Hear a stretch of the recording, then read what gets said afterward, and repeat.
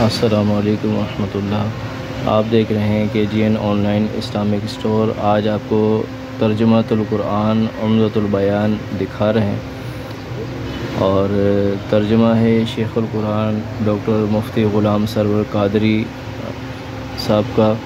और इसे लाहौर से प्रिंट किया गया है। ये आप देख रहे हैं, पहला एडिशन, दूसरा एडिशन और इसका फिर तीसरा एडिशन भी।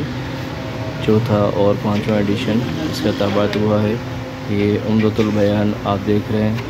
और इस सदी का तजदीदी और तहकीकी कारनामा अरबी ग्रामर के आइन मुताबिक नहायत आसान और आम फहम तर्जम कुरान है ये। और ये इसकी इब्तदा है सूरतफ़ातिहा आप देख रहे हैं। और इस ऊपर अरबी और नीचे उर्दू के अंदर इसका तर्जमा है। और नहायत वाज और सलीस उर्दू इस्तेमाल की गई है।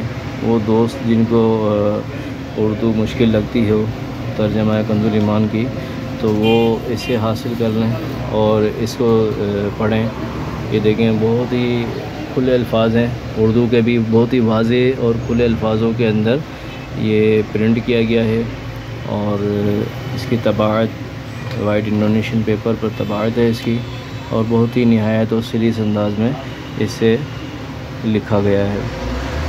इसकी उर्दू बहुत ही आम फहम और आसान है और उमदतुलबयान के नाम से ये कुरान पाक है। नहायत सलीस ज़बान के अंदर ये तर्जमा कुरान है। अल्लाह पाक से दुआ है, अल्लाह करीम हमें कुरान पाक को समझने, सीखने, अमल करने और उसके मुताबिक ज़िंदगी गुजारने की तोफ़ी अदा फरमाएँ। जो दोस्त हासिल करना चाहें व्हाट्सएप पर रबा फरमाएँ।